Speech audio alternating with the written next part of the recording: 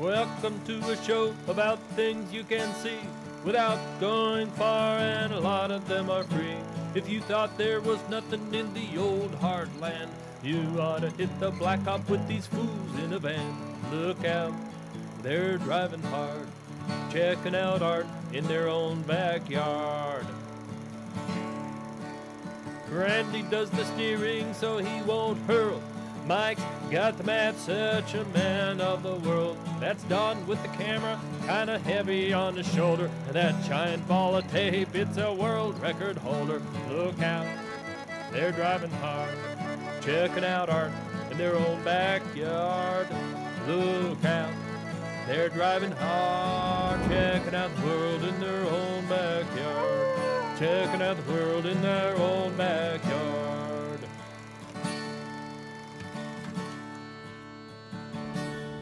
So, um, Yeah. next stop, Buster Brown. It's kind of scary, I think. He's well heeled. Dear TV mailbag, is that what they mean by a tease? Hi, Don, the cameraman here, and if we ever get out of this motel parking lot, we will start looking for more unusual art and offbeat attractions. I just take the pictures and they take the credit.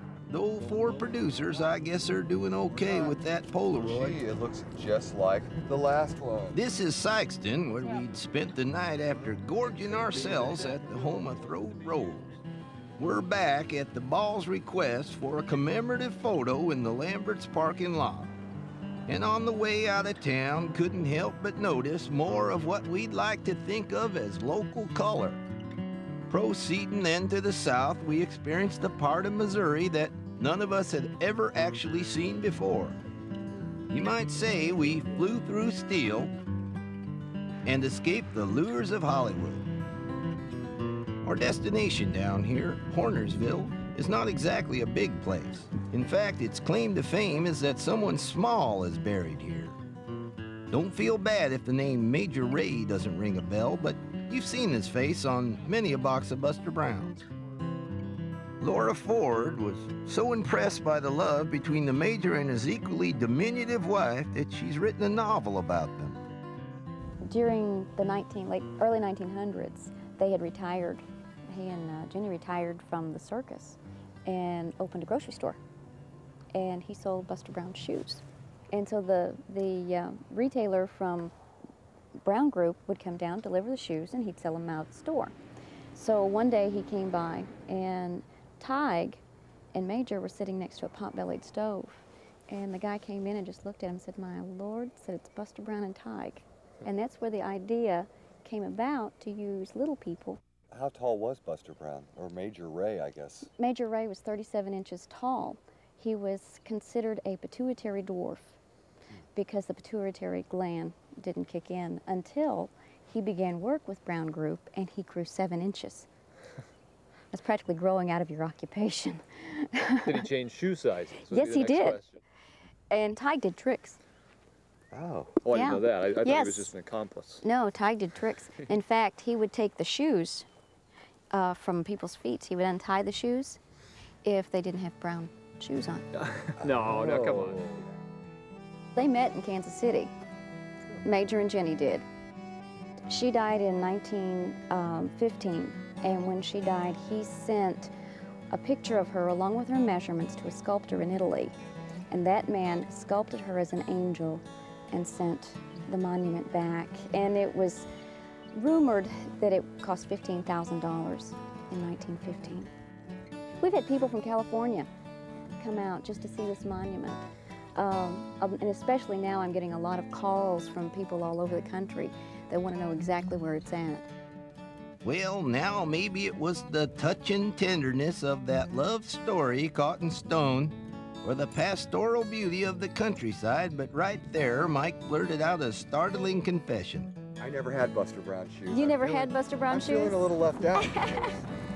The thing is, when you're in Hornersville, you're just a serious spit away from Arkansas. But that might be against some law, so we decided to save our saliva and head back to the north, moving up the boot heel to what I like to think of as the Achilles tendon, which, as we all know, ruptured pretty big back in 1811, near a little town called New Madrid. In 1990, the media was all over this place, looking for it to happen again. But on this April day in 96, we had it pretty much to ourselves. What's in your museum? Well, a whole lot more than there used to be. Turns out they financed their expansion by selling t shirts for something that did not occur. Okay, so now I'm sitting in my home. I'm comfortable. Everything's mm-hmm. good. I'm on sand though. Yeah. And all of a sudden, the earthquake happens. And there you go. Wow, just like that. And Okay, now- so we could liquefact, or we could look at the seismograph, but not today. Not today, because its parts are missing and it's not working. So if there was an earthquake, we wouldn't know. No, Okay. not, not today you wouldn't. This is about Richter scales. This is a museum where you could actually learn something, which is the kind of Yeah. museum we usually stay away Yeah. from, I have to admit. Did it really run backwards for a while? Did the The river? river did. mhm. Mike wants to know where does the water go when the river runs backwards? What, what Really? happens? I don't know. I can't explain that. Well, we have a, I said a sophisticated Indian exhibit. The village that they uncovered was a thousand year old. These people probably moved because there was an earthquake. Well, it was settled by Spanish, and then they kind of gave up and went back to Spain. I've never known it to be New Madrid, but I'm sure when the Spanish came, that's what he was going to, you know, form a new, New Madrid. and we have a real good uh, exhibit of the Civil War. Ah. And see, we did have a battle, the Siege of New Madrid. hmm Look at this hog chain. That was one big hog. I think that's for a boat. That's a Mike. boat. Oh. Give me a big hug. Talk about your rare visions. Guys, I'll tell you. What with this and that thing this morning about the shoes, I'm starting to wonder if too much travel might be getting to Mr. Murphy. Frankly, what he needs is a break from all this navigating and researching, and what better time than this long haul up the eastern side of the state? Most relaxing, at least till we realize that another tactical era may have been committed. Arcadia, it says Arcadia. 1898 it was built. Another one of those beautiful round barns like we found in Kansas. Well, and Arcadia's just down the road, right? yeah, I think so. Arcadia, Missouri. Well, apparently not. Yeah, see, this is going to be a problem because uh, Arcadia, Oklahoma doesn't appear to be on this map. Now I figure no harm, no foul. But Randy says it's going on his permanent record. On the upside, it did give us a chance to drive through the heart of the world's largest lead district and to pretty much keep on driving. When we hit the mighty Mo, we had another decision to make Daniel Boone or Elvis. We chose the latter and still almost went wrong in Wright City. Seems the Elvis is Alive Museum was already closed. However, there were signs of the king at the very next exit. Girl, I can't walk out because I love you too much, baby. Well, now this is good. But we hear that museum is the whole jelly donut, so rest assured, we will return. I can't walk out because I love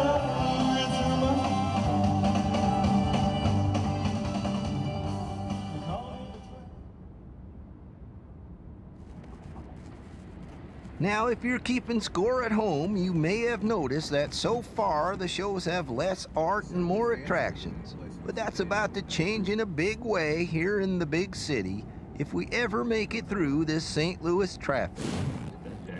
We're headed for Ken and Kate Anderson's place. It's not a gallery, just where these two artists live and work and keep adding to their collection of grassroots, outsider, visionary, naive, whatever you want to call it art. The kind of stuff that's made by people who haven't been to school for it, but obviously have something to say. what you're seeing is just sort of a hodgepodge of all the different objects and the house filled up and so it was like what you know we can't stop. So we just fill things up. And and you know it used to be the old idea was like um, less is more. Well i don't know. We- we've gotten to the point we think more is more.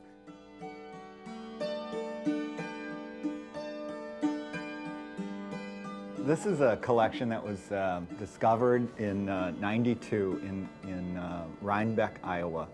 Um, kind of came to light at a farm auction. And um, the significance of it is, is that there are literally hundreds of pieces that the Woolseys, uh, Grace and Clarence Woolseys, produced um, in the 40s, 50s, and 60s. They were bored to death. It was cold Iowa winters. Uh, they started by getting some bottle caps and making a, the first thing they made was a little mailbox. I think the figures are probably the most outstanding part of what they, they did.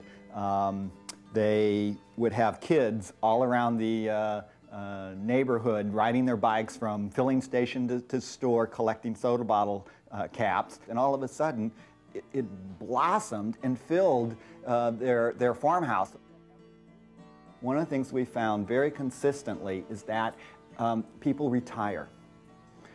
They want, then they want to do something. When you talk to them, what happens is they retire, they decide they want to start making something, they go to their garages, they see what's around them, they start putting things together, and actually in a relatively short period of time, does the arc fit into that too? Arc fits into that really easily. Um, I think he's produced maybe about four of them now, and he's 88 years old. He's probably he's 89 now, um, and all of a sudden he just he's his wife talks about. We went and visited him. She says, "Oh, he, he gets on one of these arcs, and then I just don't see him for months. He's just gone." So he's in the basement day and night working on these things, um, and they're just amazing in terms of the the expression that he gets out of all these different animals. There are bats, monkeys, possums. One of the things I, always liked was that the lobsters are red, so they're cooked. The way he puts things together, uh, he, little uh, examples, like, like for instance, the moose with these strange kinds of horns made out of, I guess, nails and little pieces of wood up the paint surface, the paint marks and things are just, uh, uh, has a kind of almost uh, abstract expressionist kind of feeling about it. Um, and this person is totally untrained. He's totally, in terms of, of, artistic, he just, he does what he wants to do and he just gets a kick out of doing it. Should there be one of the, a museum and should you guys be the instigators oh, of such a thing? I fully believe, we were, we've talked about this, that um, 20 or 30 years ago, there was very little in African art museums or wings or whatever. Now our own museum has a huge wing. Used to be a little room. Uh, it's my firm belief that folk art is going in that same direction. There already is an American Visionary Museum uh, of folk art, whatever that, whatever the, their, their real name is. Um, in Baltimore has opened up. Um, lots of museums now are collecting folk art. It's just a matter of time we will be taking over. The world had best watch out because, as you can see, Kate does walk softly and carry a big baton. anyway, as a parting gift, the Andersons helped us ornament our hood, then sent us further into Forest Park to look for the Museum of Quackery that we'd heard about some time ago.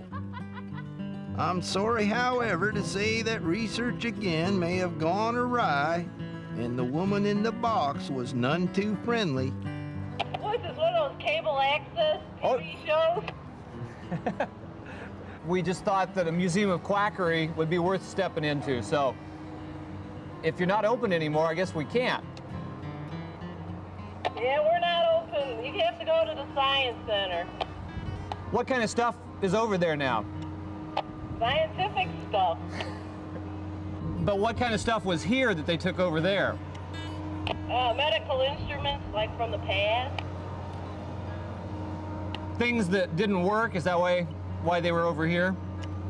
No, that's not it. Quackery, I thought it was stuff that was, you know, supposed to work and didn't. This is not a quackery. If you want quackeries, go to the park and look at the ducks. No, not exactly the kind of welcome that makes you want to stick around and check out the arch or the zoo or the train station or those silly Clydesdales. So we drove right on out of Missouri into Alton, Illinois to find one of those guys Ken told us about making the most of his retirement years, John North. Well, I saw in a magazine, uh, had something similar to that. I said, I think I can do that. So these are made up from scrap, like over throwaway Venetian blinds, coat hangers, lumber. and I just rigged it up myself, you know, went into motion with it. Somebody said, make me some boxers. So, I got some guys duking. It's Noah's Ark. All the other animals are already on there. These are the last ones going on. he started putting these up. He said it's for his grandkids. Um, I mean, I think it's more for John than his grandkids, but that's his, his ideas that he's gonna, you know, they like to look at them. And a lady asked me, can you make me one? Lady playing a piano. I mean, I said, sure. So there's the piano player. oh, this couple not getting along too good. A lot of times they're very innovative in terms of, you know, they want to figure out things and how things work. So in this example, you know, it's like as you, you know, this, he's got all eight reindeers with all their feet going. You have them up on a fence or something, they just run like crazy. The wind does a great job, and he does a great job at keeping everything kind of in balance and, uh, and works well. When I was smaller, I used to make a lot of kites too, you know, like butterflies, different things. See, I went to school, night school, when I was working. I'd taken arts in general, like ceramics, leathercraft, interior decorating, oil painting, all that. So I just put them all together and made something out of it. I don't advertise, they advertise themselves. I don't I don't put no sign out or anything. Seeing so much of John's ingenuity whirly gigging away up there on the fence inspired us to see what he thought of our own ingenuity, or the lack thereof, This is all videotape. You got, got any It tips is? for us? Yeah, this has been winding sort of a tiny little ball. So, so now it's kind of heavy. It's certain. Oh my goodness. What do you think? Are we are we onto something here? Or you're you, you sure there's nothing underneath that? No, as Randy says, it may be stupid, but it's got no serial filler. Speaking of ball, while in Alton, we continued our quest to play catch in every state we visit, here on the site where Lincoln and Douglas did debate. Then it was back across St. Louis, still no arch, heading for a southern suburb called Eureka, where I was assured we would find the shrine of the Black Madonna. Go into these things with an open mind. Yeah, it only stays open till about six, so we've got about 40 minutes. No, it's not connected to that rock singer. In fact, the name comes from a famous painting that got darkened in a famous fire. And obviously, Our Lady of Czestochowa truly did inspire one brother Bronislaus to some major heights. It's unbelievable what this man did. All this himself over a period of 23 years. Like I said, cut the trees down, uh, mixed his own cement, used dynamite to get the, uh, the roots of the trunks out of the, of the trees out of the ground. And then he would get rocks, jewelry, seashells, different seashells, coral, just these little birds that people donated. He used everything people gave him.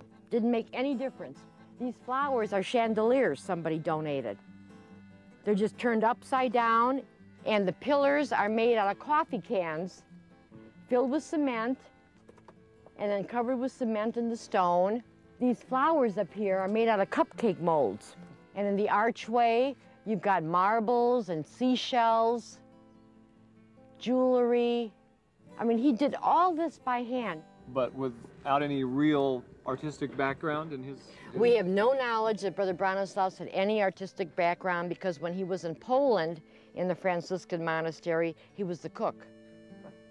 Now this is to St. Joseph, the ground to St. Joseph, and you can see the jewelry and the seashells people have donated. The can be very, very simple, can just be a small cave. But Brother Bronislaus enhanced it and tried to make it as beautiful as he possibly could. This, I mean, is so, I mean, unbelievable. If you look in other spaces, you'll see red vigil lights and uh, vases. There's blue up there and green here. And when the sun gets at a certain level, when you're in the chapel, you can see the greens and the reds and blues come through. Where the statue of Our Lady of Fatima is, was to be a grotto to Our Lady of Fatima. And he had it all in his mind what he was going to do. and he had shown his superior his plans, and he was so enthused about starting that grotto that he didn't bother to wait for the cool weather to be cutting down trees. And uh, he suffered a heat stroke, and he left his tools and the trees he cut down, and he went up to the corner grotto, which is to Our Lady of Perpetual Help, and that's where he collapsed and died, and the brothers found his body when he didn't return to the monastery that night. And I'm sure if he lived, he would have done a whole lot more.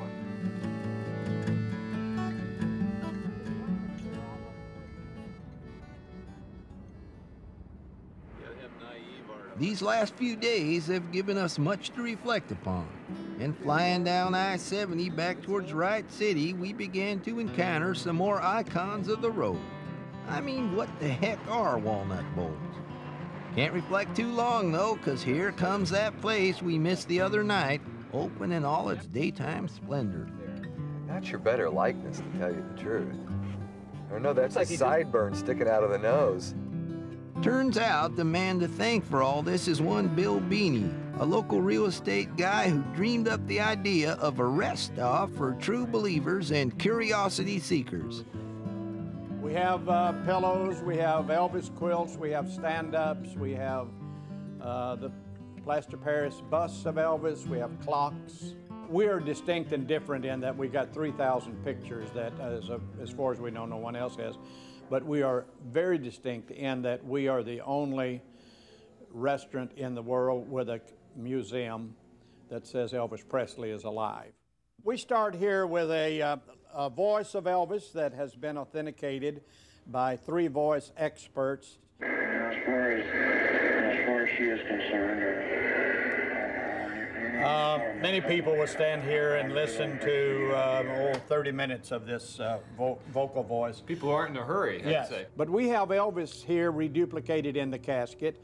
People says, well, the Elvis you've got in the casket doesn't look like Elvis. And our answer to that is the Elvis that was in the casket on August the 17th uh, when he allegedly died didn't look like Elvis either because it was a wax figure. With the uh, wedding chapel here, we performed a lot of weddings uh, here uh, because we had a special room for it. This was a, a sweater that belonged to Elvis. This was a tie. This was one of his rings. My only thought here for a second, Bill, is does this make people hungry? Well, uh, it really isn't compatible with food. And we have off centered this to where they are not eating their Elvis burger and looking at him in the casket. The next page, we have our pizza, Hunka Hunka Burning Love Pizza. We have our Hound Dog Hot Dog. And then perhaps the favorite of all is the famous uh, fried peanut butter and banana sandwich, which was, of course, one of Elvis's favorite. And with that, we give a full uh, color photo of Elvis. Now, how can there be profit in that if you give a, a picture of Elvis on top of the sandwich? Well, we actually lose money on it, but it gives us such joy to see the smile on their face. No fried bananas here, just your basic American grub, which we gobble, making sure on the way out we still had time to sit in the car that Elvis rode in. Well, sort of, which pretty well sums up the whole place.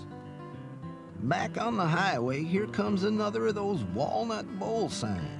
The last we'll see for a while now that we're getting off the interstate, taking the scenic route along the river, starting here in Hermann. Known for its friendly folks, Teutonic roots, and an ongoing love affair with the grape. Can't believe the ball wants a glass of wine. I hope he just stops at a glass. You know how he gets. I'm afraid I do.